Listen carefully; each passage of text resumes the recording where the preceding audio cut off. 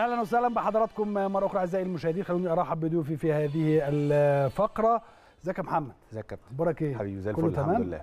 ازيك يا أيمن؟ ازيك يا كابتن؟ كله كويس؟ الحمد محمد لله. جمال وأيمن جilberto طبعا.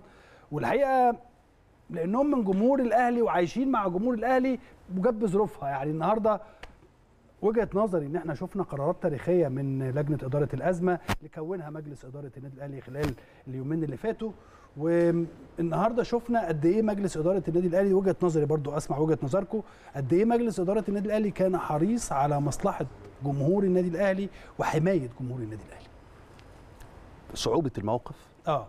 بتبرز لك آه، عظمه القرارات اللي طلعت.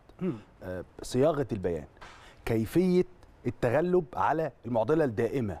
كيف أتعامل باحترافية ودبلوماسية؟ واخد كل حقوقي. دي عظمة البيان. لما تيجي تتكلم على إنك لم تتغافل كل هذه النقاط واستطردت من خلال البيان الموجز اللي اتكتب فيه كل ما طلبه جماهير النادي الأهلي خلال الأيام السابقة. حقيقة. وكنا خلال الأيام السابقة في احتكاكنا وتعاملنا مع جماهير النادي الأهلي الناس كلها كانت بتطالب بهذه الطلبات.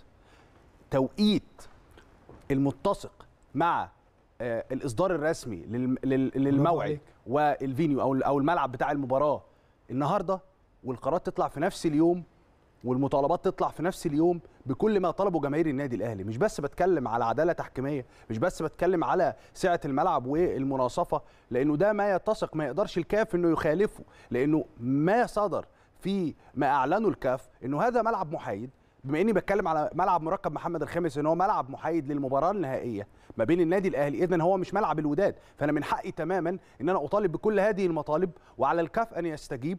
فعظمة هذا القرار في التوقيت في الصياغة في القرار في إنه تضمن كل النقاط اللي طالب بها جماهير النادي الأهلي خلال الأيام الماضية. والتوقيت بالنسبة لي عظيم جدا إنه يصدر في نفس اليوم. أيمن.